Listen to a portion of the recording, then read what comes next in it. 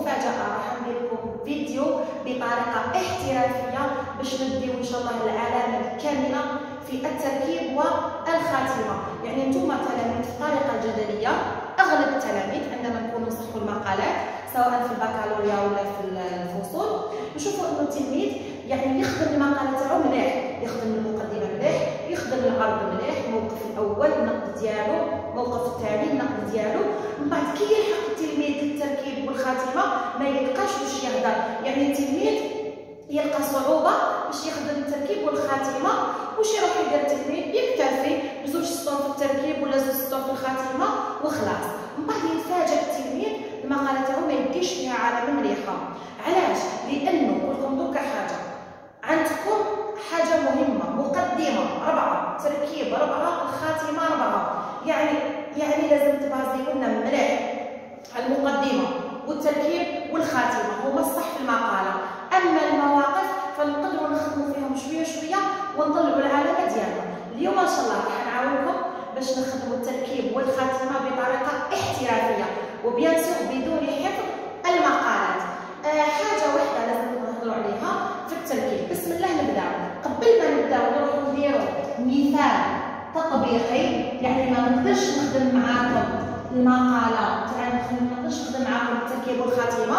بلا ما نديروا مثال تطبيقي أول حاجة نروحوا نشوفوا الطريقة الجدلية. اللي ما شافش الطريقة الجدلية واش يروح يدير؟ يروح يشوف الطريقة الجدلية اللي حطتها يروح يشوف الطريقة الجدلية بالتفصيل. عندنا الطريقة الجدليه عندنا فيها أول حاجة مقدمة. إحنا المقدمة ماشي هي شغلنا اليوم. المقدمة عندنا فيها أربع خطوات وما يهموناش دوكا إحنا تفاهمنا بها الفيديو خاص بالتركيب والخاتمة. من بعد واش عندنا عندنا العرض. يعني العرض في الطريقة الجدلية عندنا فيه خمس خطوات أساسية. أول خطوة من الخطوات الجدلية هي الموقف الأول. ثاني خطوة هي نقده. يعني الموقف الأول نقدوه ثالث خطوة هي الموقف الثاني. من بعد نقده من بعد أخيرا التركيب وكي كملنا العرض واش عندنا عندنا الخاتمة.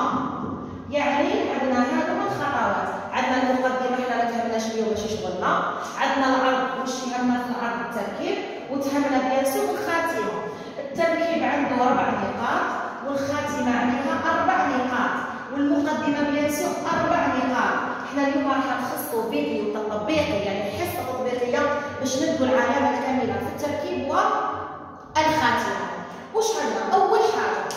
أول حاجة كي ناخذوا مثال تطبيقي ناخذوا مثال على أي مقالة مثلا عادة مثلا يقول لك هل العادة سلوك ايجابي ام سلبي هذا مجرد مثال يعني أنا ما رانيش راح ندير مقاله تاع العاده أنا راح ندير فقط مثال باش نعلمكم تخرجوا التركيب وتخرجوا الخاتمه صح والان ركزوا معايا كامل باش راح ندير هذا يخص التركيب حاجة مهمه قلنا هنايا التركيب وعندنا لهنايا الخاتمه راح نديروهم بطريقه احترافيه يعني راح نحصدوا فيهم العلامه الكامله هذا مجرد مثال أنتم تحكموا المثال هذا طبقوه على كاع الدروس أنا شاف نقول لكم حذاري من حفظ الفلسفه حذاري الحفظ ما تروحوش تحفظوا المقالات الفلسفه العام نخدموها بطريقه المخططات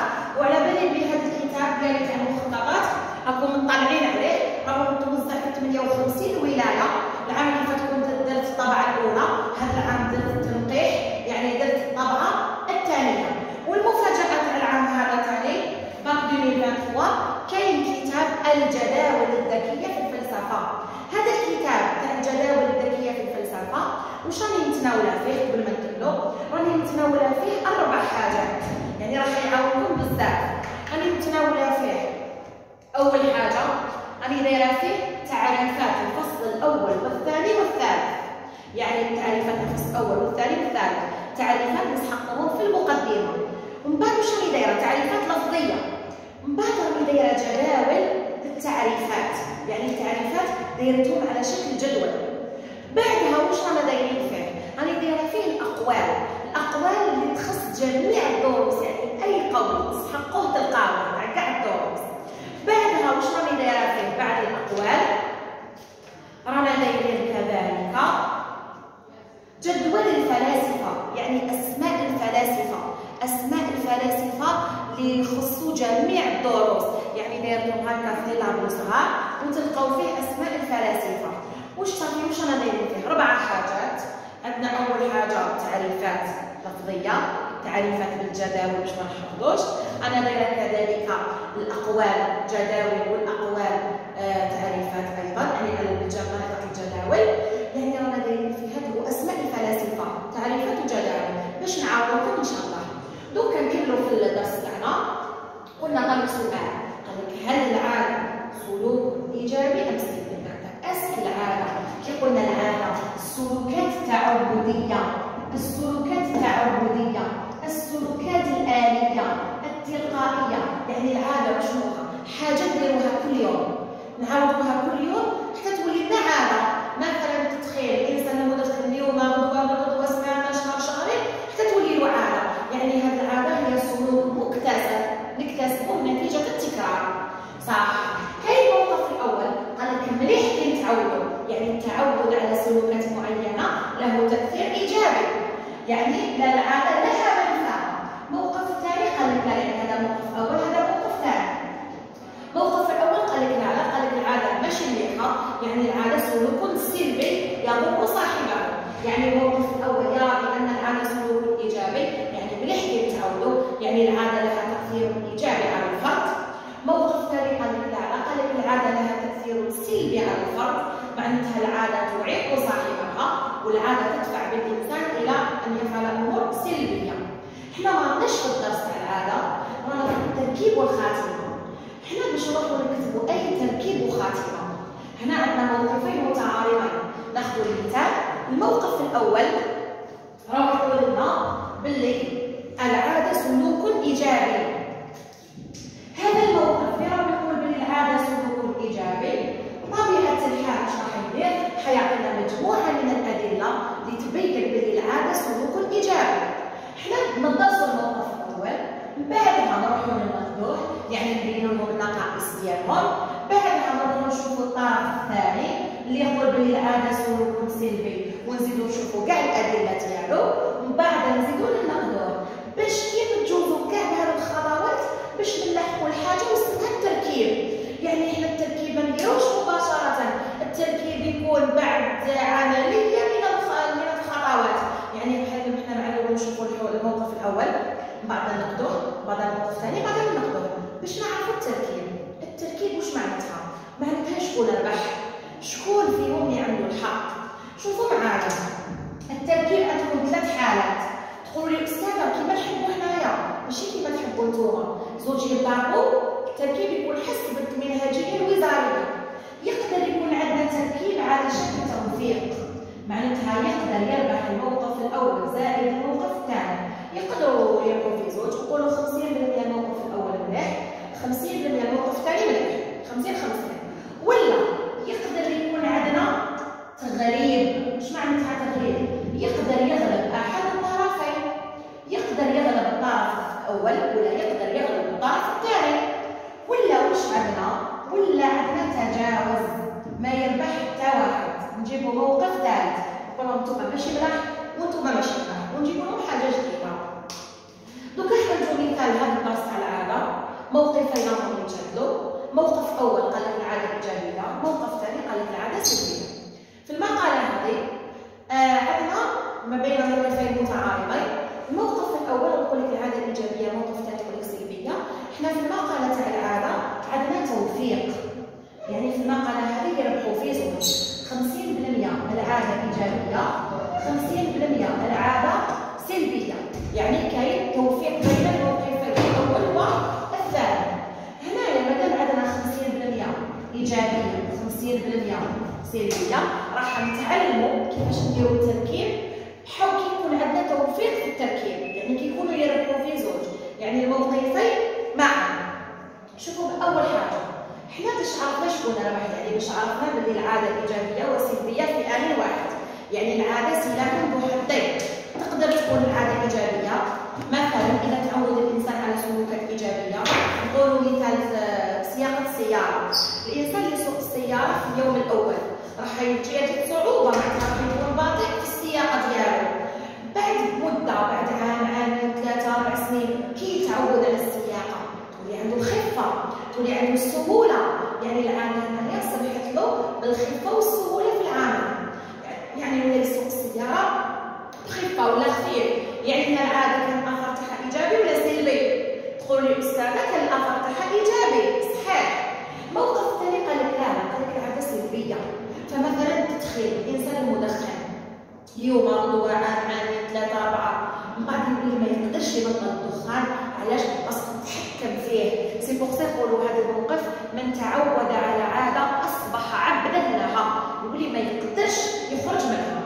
يعني راه موقفين متعارض ربحوا فيه زوج حنا واش قلنا لها قلنا لهم العادة سلاح ذو تقدر تكون العادة ايجابيه كما يمكن أن تكون العادة سلبية. كيفاش نكتبوا التركيب أخذوا معايا. حنا باش عرفنا شكون الراح. ماشي هكاك رحنا جسنا بسلسله من الخطوات. حنا رحنا الأول شفنا الحجج تاع الموقف الأول. من بعد رحنا نقدناهم من بعد شفنا الحجج تاع الموقف الثاني. من بعد رحنا نقدناهم ومن بعد واش درنا تما باش عرفنا شكون ربح. يعني حنا باش خرجنا شكون ربح. شفنا الحجج تاع الموقفين. ونقدناهم في زوج. باش عرفنا شكون ربح.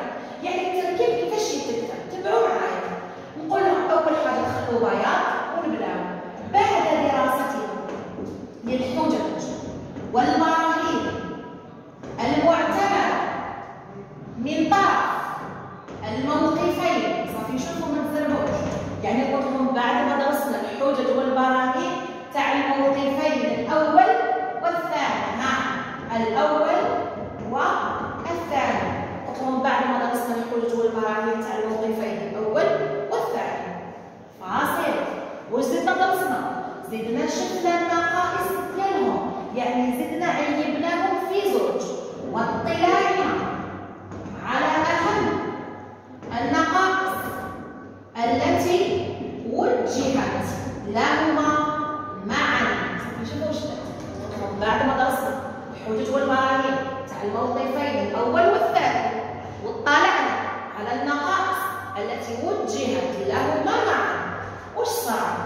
تبين لنا أن بالكم تقولوا حذاري تقولوا نستنتج قولوا تبين لنا. قولوا نلاحظ أن يتضح لنا نرى أن المهم ما تقولوش نستنتج نستنتج نقولوها هنا في الخاتمة. تبين لنا أن وش قلنا على العاده قلنا 50% إيجابية 50% سلبية.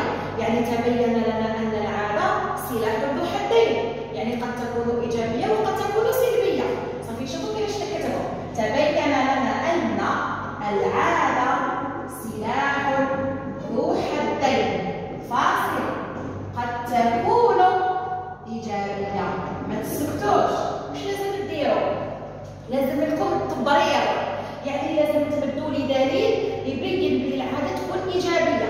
ها سلاح ذو حدين قد تكون ايجابيه أقول لك حجه لا قول لا مثال واش ندير والدليل على ذلك وما يثبت ذلك انها واش دير العاده تؤدي إلى توفير الوقت العاده توفر لنا الوقت تكسب الانسان الخفه تمكن الانسان من فعل أكثر من عمل في وقت واحد مثلا سياقه السياره والتحدث في الهاتف سياقه السياره والاكل إحنا اليوم الفلانية نسوق طوموبيل نبقاو هكا نقدروا نديروا والو ولكن بحكم العاده وليت نقدر أنا نسوق طوموبيل ولا نقرا في, تليفون ميساج أنا نسوق طوموبيل ونهضر مع اللي قدامي أنا نسوق طوموبيل وراني ناكل.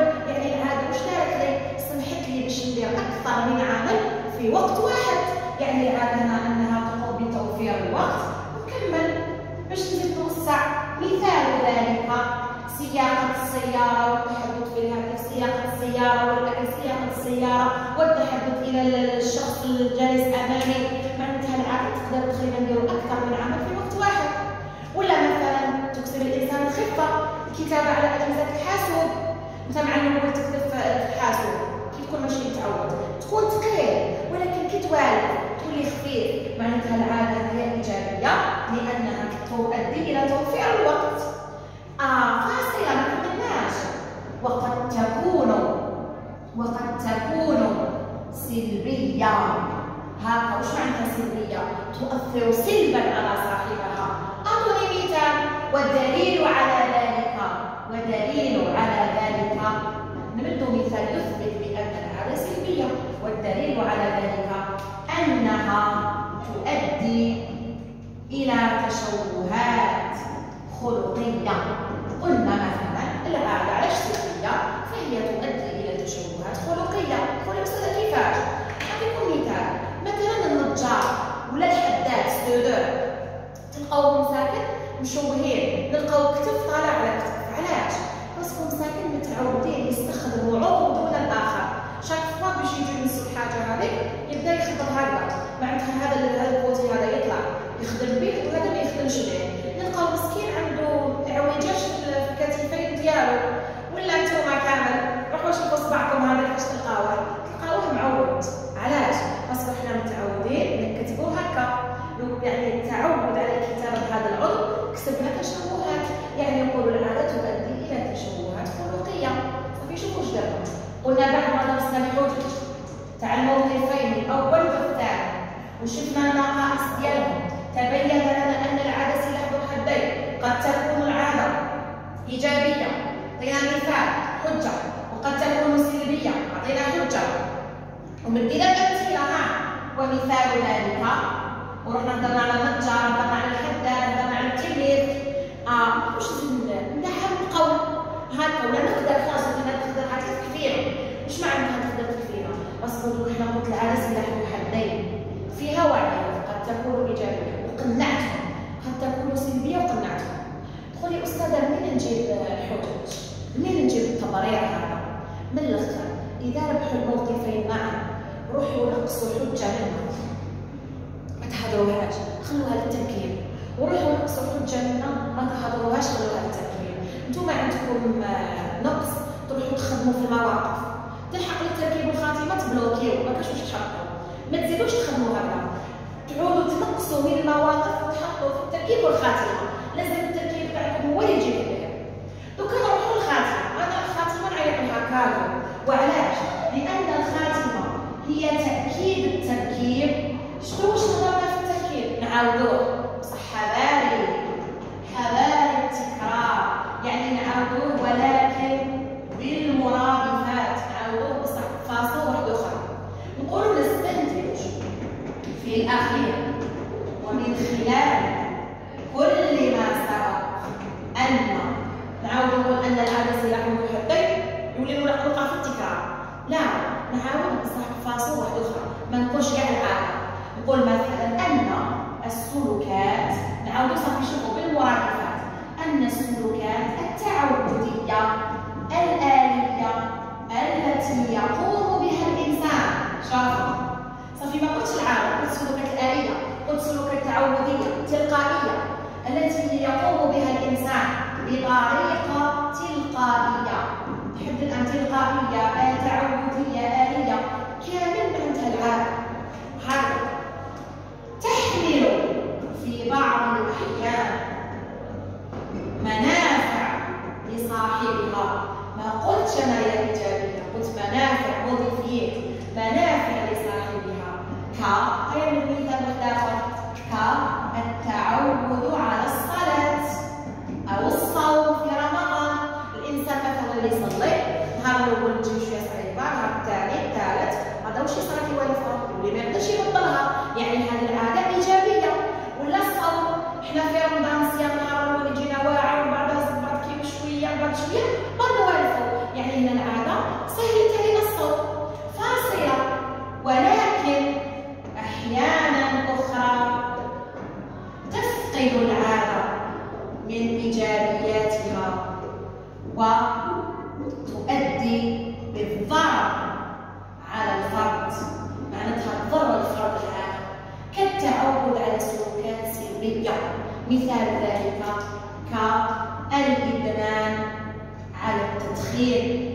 المخدرات.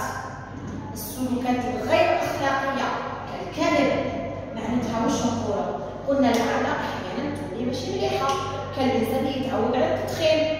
يدخل يدخن نهار الأول دوزيام تروازيام عام عامين ثلاثة تولي يقول لك ما نقدرش نبطل حكم فيا يعني انت متعود عليه ولا ما يقدرش يوقف التدخين. يعني العادة كان الاثر تاعها سلبي ولا مثلا المخدرات. يعني يولي يعاني من بحكم التعود. صافي هنا واش حنا درنا وحنا زدنا نفس الشيء نقصنا أدلة ونقصنا أدلة وحطيناها. تقدروا أنتم زعما قلتوا تحمل العاده بعض المنافع لصاحبها كالتعود على الصلاه والصوم نقدر ندعم القول نقول مثلا اذ يقول الا العاده تمنح الجسم الرشاقه والسهوله يعني مديت قول دعمت به الموقف وقد تكون أحيانا أخرى سلبيه تضر صاحبها كالتدخين المخدرات والكذب يعني يتعود على الكذب نقدر نزيد من القول نقول لك مثلا يقول صارتا ما ماذا خير عاده للانسان ان لا يعتاد شيئا معناتها الانسان اذا واحد يعيش يعيش حياه سويه لازم ما يوالف حتى حاجة إحنا واش درنا دعمنا التركيب ودعمنا الخاتمه يعني الاستاذ المصحح كي راهو يقرا لك التركيب وراهو يقرا الخاتمه ديالك راح يتقنع راح يحس بلي كاين كاين تبرير كاين دليل. نتوما عندكم غلطه تروحوا تخدموا كامل المواقف ملاح. تخدموا الموقف الأول مليح النقد مليح الموقف الثاني مليح النقد مليح تلحقوا التركيب والخاتمة تحصلوا. وعلاش تحصلوا؟ على خاطرش ما تلقاوش باش تبرروا. ما تلقاوش الأمثلة. وعلاش ما تلقاوهمش؟ باسكو هذوك الأمثلة تكونوا كاع درتوهم. تكونوا كاع درتوهم في العرض. ما تلقاوش تهضروا تكونوا ديروا ما تحطوش في العرض كونوا براغماتيين تبعوا مصلحتكم. تبعوا التنقيط تركيب عليها ربعه الخاتمه عليها ربعه يبقى أنا نقص بالمواقف ونحط في التركيب والخاتمه